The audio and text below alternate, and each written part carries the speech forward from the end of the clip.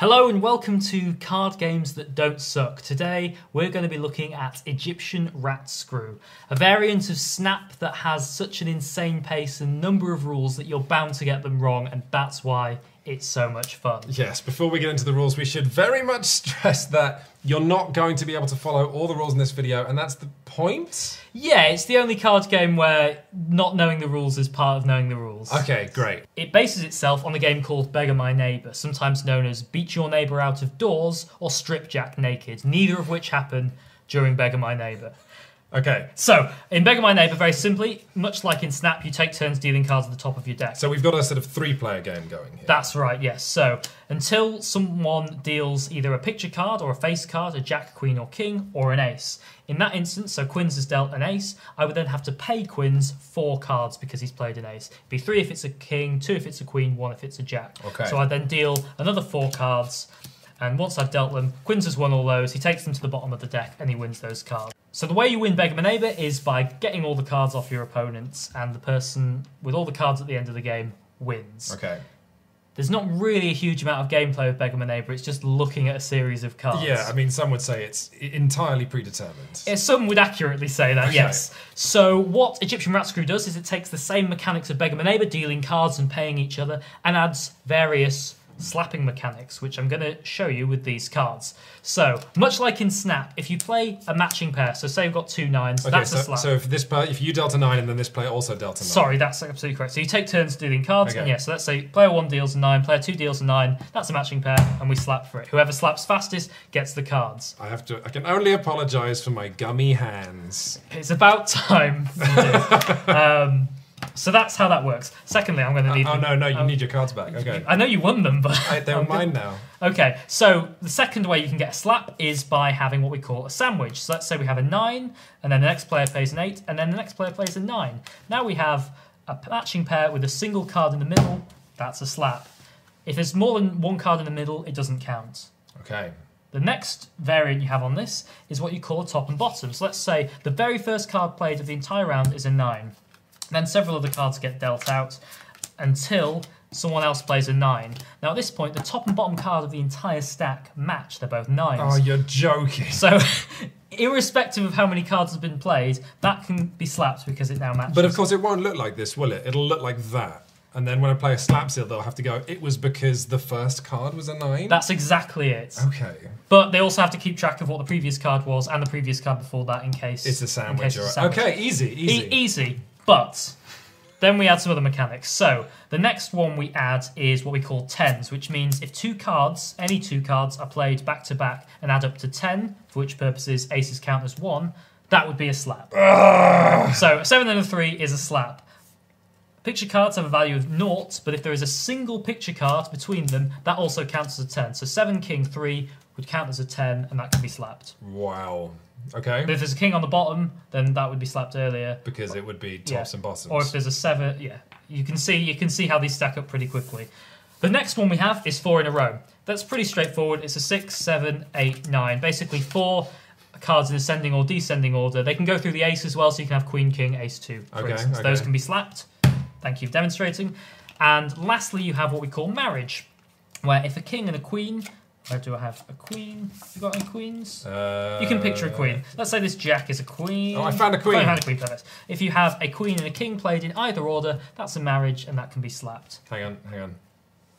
You just wanted to win that, didn't I, you? no, I just wanted to slap. Yeah, Slapping is I got fun. excited, yeah. So, uh, this isn't a game that conforms to heteronormative ideals. If you have a king followed by a king or a queen followed by a queen, you can slap that as well. Oh, it's because they're pairs. Yeah, 'cause they're pairs. You can slap that all day. It- It's very equal slapping. yeah. So, those are all the ways you can slap. But there are also a couple of variants. You can add jokers in. Jokers can do one of two things. Either they can be played as an additional card to pay with. So instead of paying three or four with queens, with kings or aces, you'd pay five to a joker. Okay. Or a joker can just be something you always slap. So irrespective of when the joker's played, everybody slaps.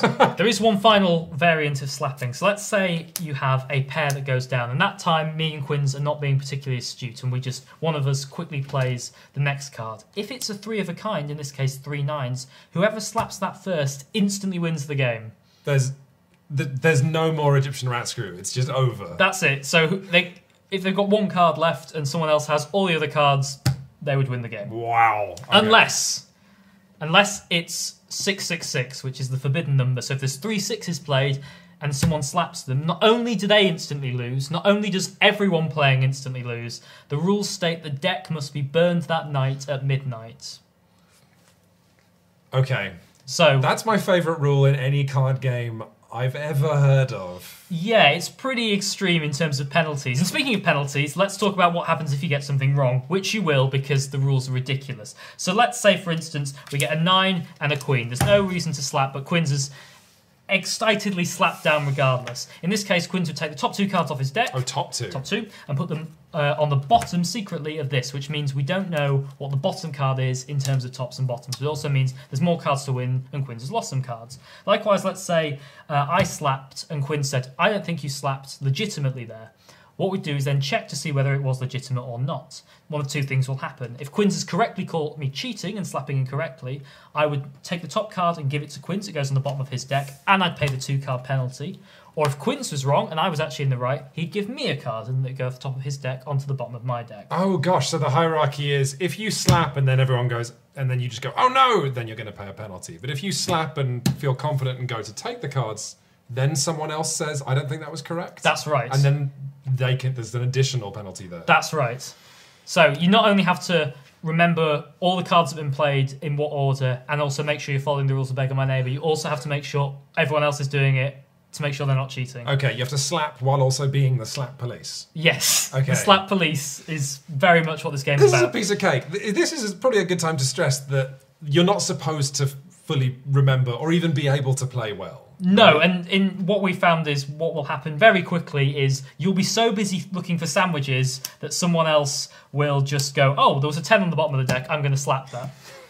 Yeah. But let's say you've got someone who is constantly ready. Their hand is always just there, ready to slap. So yeah, what you can do is if you think they're that's not something slappable, you can force their hand down, and that will count as them having incorrectly slapped, and they'll pay the slapping penalty.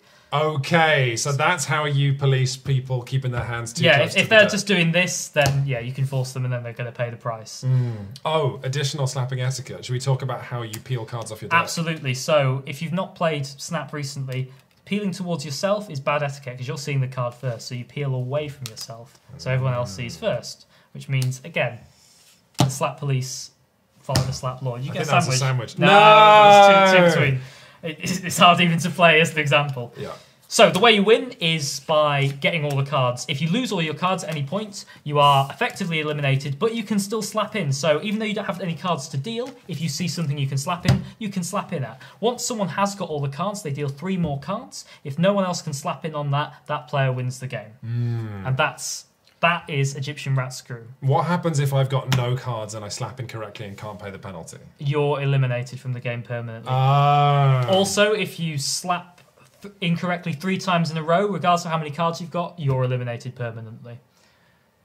is this the meanest game that we've ever covered? It's certainly the most painful. One thing I'll say is a couple of things to consider. One, don't slap too hard unless you want to get slapped hard, because if you get a reputation as a hard slapper, oh baby, you're going to get slapped hard. Secondly, don't wear any jewelry or watches or bracelets because you'll just end up with broken fingers. Thirdly, make sure the table is fairly solid because it will take a pounding. And fourthly, if you're borrowing the deck of cards off someone, make sure you let them know they may be returned battered and or burned.